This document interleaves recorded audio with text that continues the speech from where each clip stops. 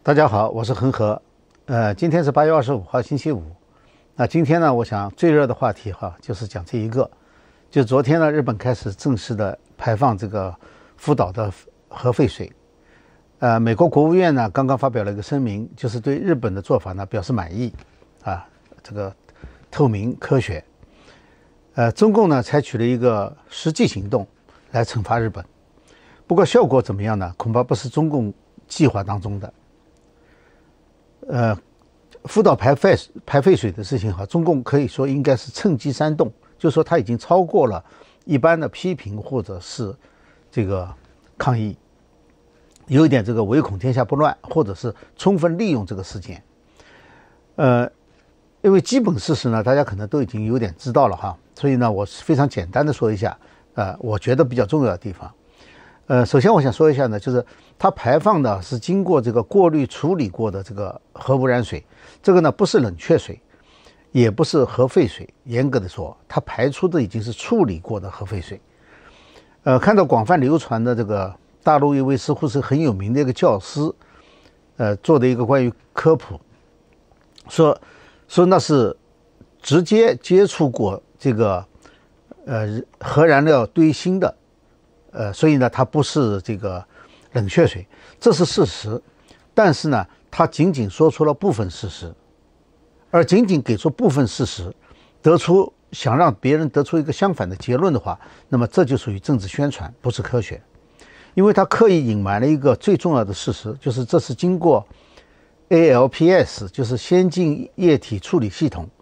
啊，我想大概是应该是 Advanced 呃 Liquid Processing System。大概是这个意思。那么，经过过滤的这个核废水呢，其实它的绝大部分的这个放射性的物质啊，都被过滤掉了，然后就就被浓浓缩在这个过滤器里面了，就过滤的物质里面了。呃，所以除了氚以外，哈，因为氚呢实际上是氢的同位素，那么它是组成水分子的一部分，所以你没办法从水里面把它去掉的。呃，你可以，你可以这么说，你可以说，就有研究表明，这种 ALPS 的这个废水处理呢，还有缺陷，有些放射性物质呢，可能还没有完全除去，就像有一些独立的这个研究机构这么说。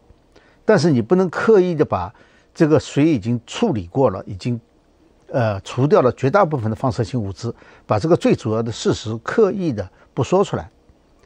呃，这个说这种做法是不对的。呃，关于技术细节呢，我就不说了哈，反正大家都已经知道，我也不是这方面的专家，我说了呢也是在重复别人的说过的话，所以呢我就没有，呃，不打算去谈那些指标了哈，因为大家知道日本人排出来的就排放的这个水肯定是比国际上的标准要低很多的，我相信日本的食品饮饮水、食品和饮水的标准哈，比中国的好不止十倍。虽然我没有查过哈，我相信日本的标准可能比美国的标准还要高。如果日本人自己不抗议，那么大概率中国人是没有必要进行抗议抗议的。除非你觉得你的食品标准比日本人还高。那么也有一种说法呢，说如果说这么好的水，你们为什么不自己用，要往海里排，要往海里排？嗯，那么。第一，它这是海水，海水你怎么能用？第二，污染的水本身和用来稀释的，它都是海水，这个基本上是不能用的。呃，第二个呢，就是即使排放水这个排放水可以用，它和海洋生物或者人类将要接触到的是完全不同的。就你排放以后哈，人类能够接触到或者动物能够接触到的，比这个排放水又被要稀释掉了无数倍了，千倍万倍都不止。因为这个海洋也这么大嘛，你排出去的被稀释掉的肯定是倍数非常非常多，所以说你所能接触到的和它直接排放的是两回事情。如果说它直接排放的已经可以人可以接触了，那么再被海水稀释掉肯定是可以的。所以现在日本方面已经测了很多点了，十几个点，就是刚刚新的消息，啊，发现呢其实比这个呃就是比可能预想的还要低。那么。我现在想说一下，就是为什么要相信这个国际原子能组织，就是 IAEA 的这个和日本政府的说法。呃，我看到有人说哈，你不需要相信日本政府，但是应该相信国际国际原子能机构。呃，我觉得其实日本政府也可以相信，因为至少比中共当局的这个可信度要高太多，也不会比美国政府的可信度低。就是日本政府的话，嗯。又比如哈，就是这个呃，国际原子能机构哈，他们专门在这个评估当中呢，还设置了十一个独立外部专家，就是这些不是原子能机构自己的，而是从外面请请进来的专家。那么这些专家呢，它包括很多国家，像阿根廷啊，什么马马绍尔群岛啊，呃，什么澳大利亚、加拿大、法国、俄罗斯、英国等等，美国。注意哈，这里十一位专家当中，有包括。反对日本最强烈的中国和韩国的专家，也有太平洋地区的越南。那么也就是说，它的可信度就要高很多。我们可以比较一下，就是另外一个世界组织进行的同样的一个调查，类似的调查，就是世界卫生组织派到中国去的一个溯源调查团。顺便说一句哈，世卫组织连这个名称都不敢用，其中主要成员。就包括了生态健康联盟的达萨克，而他和有嫌疑的武汉病毒所长期合作，而且是他把美国的科研经费投入武汉病毒所的，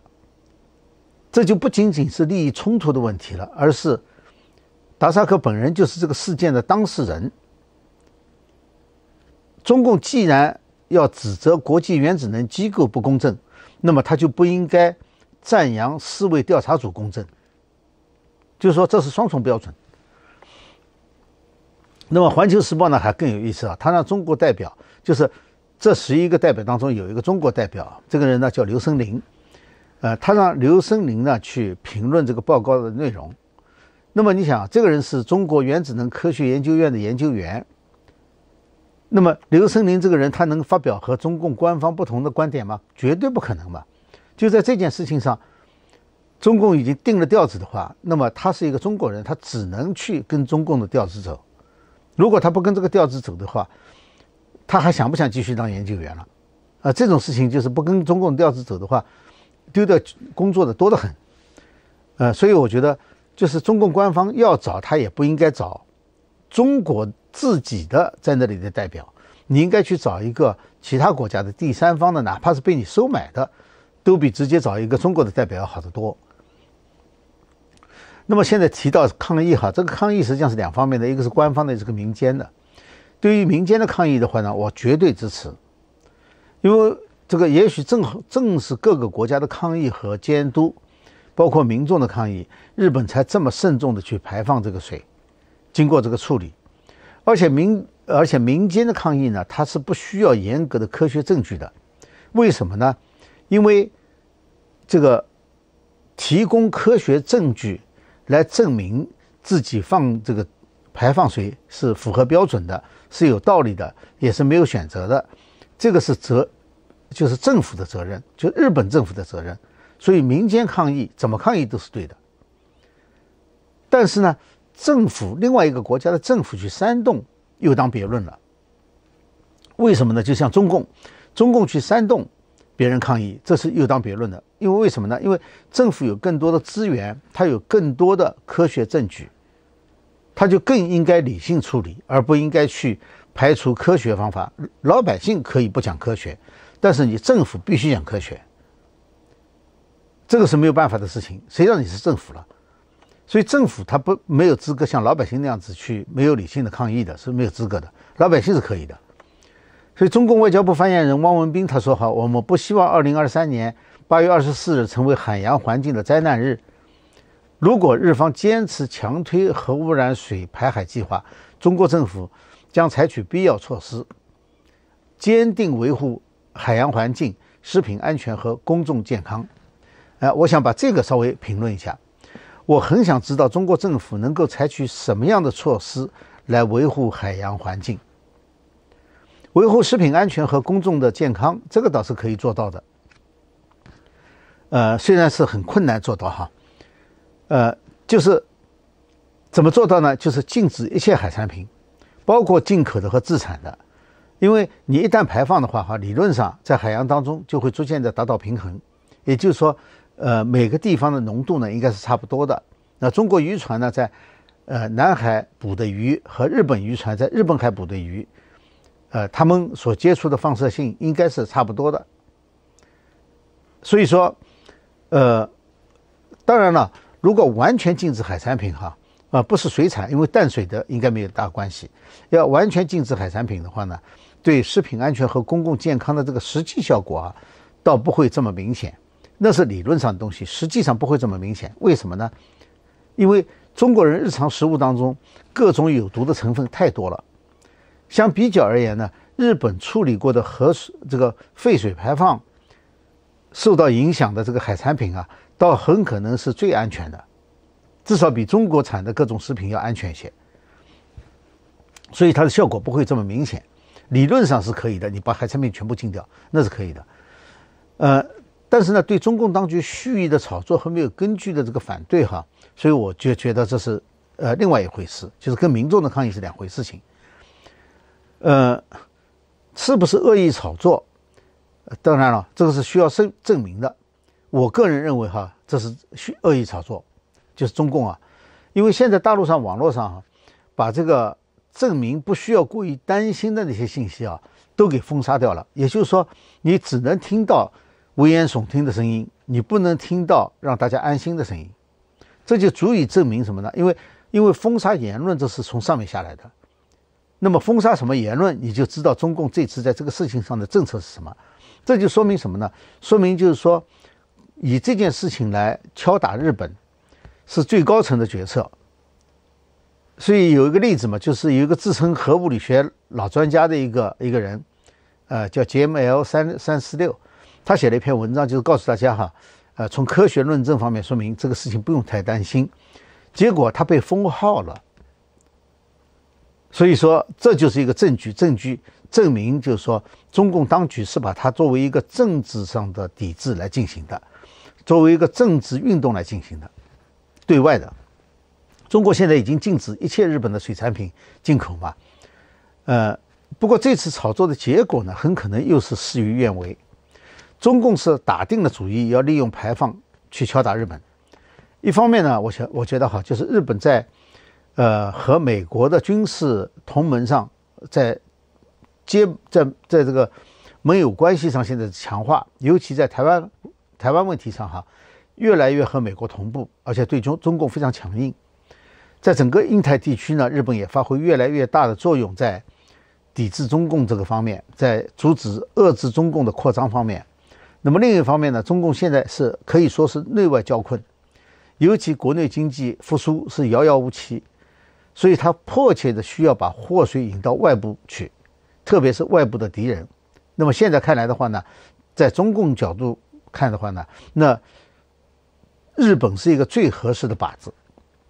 不过这次呢，他也出出现同样的问题，就是他用力过猛的话，哈，会伤到自己。至少目前有两个迹象，呃，或者已经出现的现实。一个呢就是抢盐，这个是当局没想到的哈，以至于官方呢不得不出面来解释，说中国食品呢，中国的食盐呢有百分之九十是井矿盐，只有百分之十是海盐，而且中国的盐足够足够，你们在不需要去恐慌，不需要去抢。呃，那么这个呢是一个悖论，其实为什么呢？因为当局需要煽动起来的就是不理智的民众，就是不理性，他需要煽动的就是不理性。如果民民众理性的话，如果他们理性的话，就不会达到中共要达到的目标，就是盲目的去反日。但是不理智的发展方向和后果呢，同样会难以被中共控制。也中共也是预料不到的，所以中共没有想到，一抵制日本的海产品，老百姓做的第一件事情居然是抢盐。抢盐呢还算好哈，它属于一个中性事件，就是说它没有什么好处，也没什么坏处，呃，它没有伤害到日本，那么对自己呢也没有什么严重的后果，无非就是缺货，缺货当局可以去很快的补上。那呃个人呢抢够多了，呃可以留着慢慢吃嘛。实在不行的话，就多腌点这个蔬菜和这个肉类的嘛，多腌一点嘛，呃，也可以。或者你放个十年也可以吃嘛。呃，但是第二个后果呢就没有这么乐观了，就是人们开始抵制一切海产品，甚至可能连累到一切水产品，就是不仅仅是海产品，这个问题就很严重了。就网上已经出现的哈，就昨天晚上有一些中国渔民直播的直播间被恶评充满了，那么导致主播呢甚至崩溃，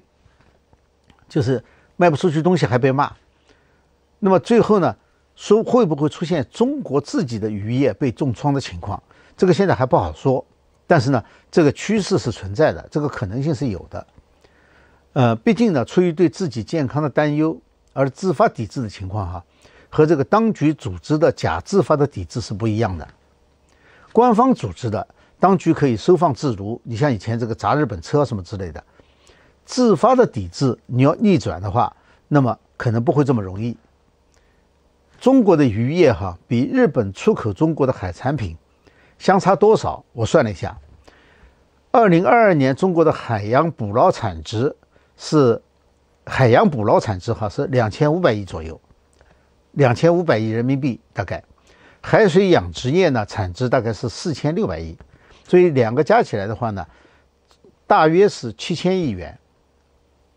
呃，这是海产品，包括捕捞的和养殖的。而当年呢，就是去年哈，日本向中国出口的海水产水产品呢，大概是八百七十亿八百七十亿日元，大概相当于四十亿人民币。也就是说呢，就中国自产的海产海产品，自己的海产品，呃，大概是日本出口到中国的不到两百倍，它一百七十多倍，就这么个数字。呃，所以说呢，如果说这个反反而影响到中国的水产业的话，那么会影响到中国的这个这么大一个产业渔业，呃，和它的相关的上下游的一些一些工业或者是一些企业，呃，所以说这对中国的经济的打击要比对日本经济的打击大太多。再一个呢，就是发动群众去抵制日货的话呢，其实它会强化日本和中国脱钩的这个意愿和脱钩的速度，因为在以前日本是寄希望于继续可以在中国赚钱，或者不敢得罪中国，但是现在，呃，恰恰是中共把他们推到了越越推越接近美国的这个怀抱，所以说现在中共的所作所为，这个时候来来。打击日本的话，其实对中共的整个国际环境只起到了恶化的作用。呃，因为日本的民意哈会越来越倾向于这个反对和中国继续保持关系。呃，而民主国家呢，它最终的民意是会起到推动政政治决定作用的。当然，中共可能已经破罐子破摔，他不在乎了。呃，从某种角度看，北京这次也可以是一次。大规模的认知战实验，就是对对外的认知战。呃，台湾比较喜欢用这个词哈。呃，对台湾，其实认知战是对所有的国家的。就是本来日本的排放呢是一件不可避免的，而且不见得是后果这么严重的事件。因为现在我们已经知道了，从科学上讲的话，它不是一个非常严重的事件。至少现在的科学的认知是这样的。将来科学有什么认知？或者有什么变化，那是以后的事情，就是现在所知道的。呃，但是中共呢，就硬要把这件事情呢，就是标变成一个妖魔化对手的一个工具、一个利器。呃，那么他怎么去能够把它变成一个利器？就是对于这个世界大部分国家来说的话，他是知道这些原子能，呃，呃原原子能机构、国际原子能机构的这个评估的，他也知道日本的说法，他也知道中共的说法。就是怎么会，怎么样能够把它变成自对自己有利的武器？呃，这就是中共这次的认知战。那怎么能够在国际舞台上充分利用这个时间？就这个事件，怎么样去分化瓦解相关的国家？你是比如说在东南亚或者是东北亚，怎么样把其他的国家拉到自己这边来？所以呢，对于其他西方国家来说的话，其他的国家来说的话，这也是一次非常好的机会来分析中共的这种认知战的手法，因为这是一次比较大的实践。呃，下面顺便说一下，其实人类呢是一直生活在放射线之下的，呃，因为这些放射放射性物质它就是天然的嘛，它就在地壳里面的，就在地球上的，只是一般人可能没有太注意。呃，我以前看过一篇文章啊。呃，说是这个太平洋最好的黄鱼的产地哈，呃，是在太平洋中间的一片珊瑚礁，而那里呢是美国在呃五十年代到六十年代核武器的试验场。呃，后来就想起我以前曾经看过一本跟日本有关的小说，我也不知道是不是日本的小说翻成中文的，就说的是一九五四年美国在那个马绍尔群岛引引爆氢弹那件事情。后来日本呢有一条捕鱼船。是捕捕金枪鱼，呃，金枪鱼的船哈，呃，受到了辐射，因为他们没有得到通知，所以他们受到了强烈的辐射。后来怎么回日本？好像是很多人都后来受到辐射照射死亡的，好像有这么一个故事。那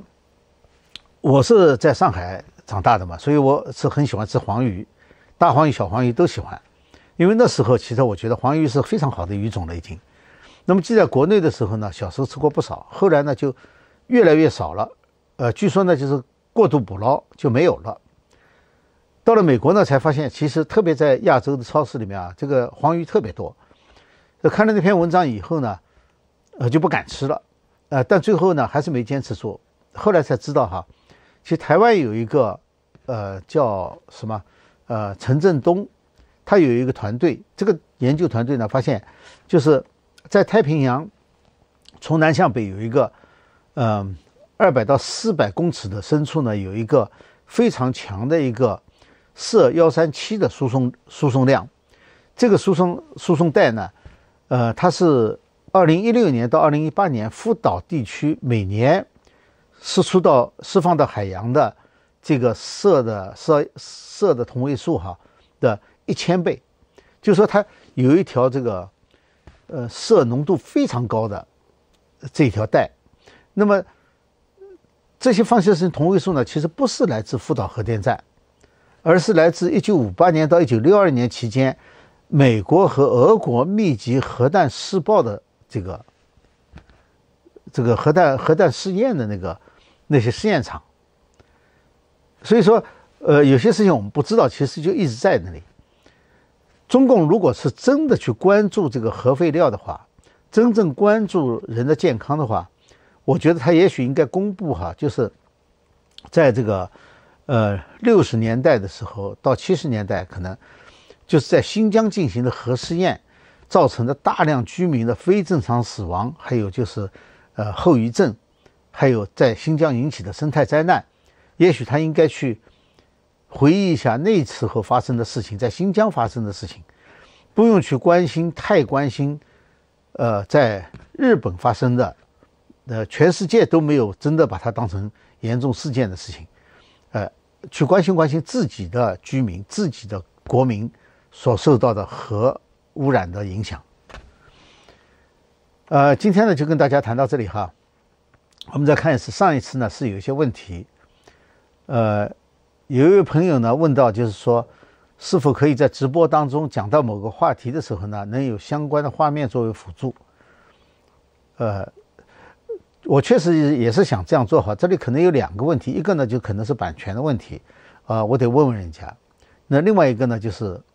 准备时间，因为我是自己准备自己的话题，然后准备自己的东西，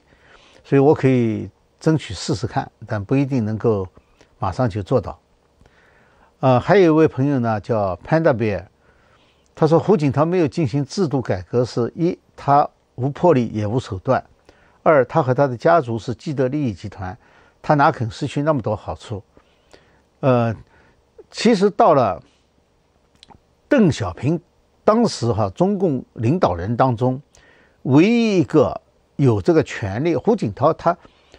他从来没有真正的掌握过权力，真正有权利、有能力、有也可以去进行政治体制改革的。唯独邓小平，邓小平没改，以后的人都改不了。那问题是邓小平不能改的原因，是因为他们已经充分认识到了，就是政治体制改革会冲击到中共的统治。一旦改革以后，中共自己肯定就没了，所以说他不能进行这个改革，呃，因为他毕竟是第一代嘛，第一代的就是说，他自己的一切都是毛泽东革命所带来的，没有毛泽东革命就没有他的一些任何东西，所以他不会去否定共产党的革命，而要政治体制改革的话，一定要有这种魄力去否定共产党的革命，这就是这个问题，呃，至于说。胡锦涛不能改，是因为当时党的上层所有的因素对都对政治体制改革不利，所以说你按说起来的话，这个 呃温家宝应该比胡锦涛呃更清醒，而且呢，其实我觉得他呃更有魄力一点，但是他也无能为力。呃，还有一位林立哈，他说呃。普里戈金和林彪有点像，伴君如伴虎，皇上面前攀高枝，飞得高，摔得摔得很。呃，这两者很多人进行比较哈，其实我觉得这两者呢，其实还是有一点差别的。普里戈金其实是自找麻烦，因为他不发动兵变的话哈，他不会有事的。普京不是个主动折腾的人，就是在内部哈主动折腾，他不干这个事的。他在，而且这个普里戈金本人呢，因为他级别相差太远了，他只是一个厨师嘛，最后搞了一个武装集团而已。就是他在政治上，他对普京没有任何威胁，普京要搞也不会去搞他。他和反对派的领导人完全不同，反对反对派的领导人他他有他的基础，普里戈金没有自己的基础的，他就是靠着普京，林彪。才是真正的伴君如伴虎，因为林彪本来是个不惹事情的人，就是他开会总是装病，他不想进入这个权力中心，所以包括他成为副统帅哈，甚至都不一定是自己的这个意愿，就是他是被被这个毛泽东的继续革命卷进卷进去的人。毛泽东呢是一个需要不停的寻找敌人的人，就是永远在折腾中。他实在找不到敌人呢，就制造一个敌人，所以林彪的下场是必然的，就是只要被毛泽东看中是接班人的，一个一个的都得被他自己干掉，因为你要定接班人，就会对毛泽东造成威胁。林彪不要说写入党章，当他接班人这个呃写入党章的时候，林彪的命运就已经定了。普利，所以林彪是没有选择的，而普利戈金自己是有选择的。好，今天就跟大家聊到这里哈。呃，干净世界的朋友呢，请关注。呃，当然先注册一下，然后关注。那油管的观众呢，请订阅、点赞和转发。而且呢，请大家留言。呃，感谢观众朋友们这个这几次节目给我的留言哈。好，谢谢大家，我们下次节目时间再见。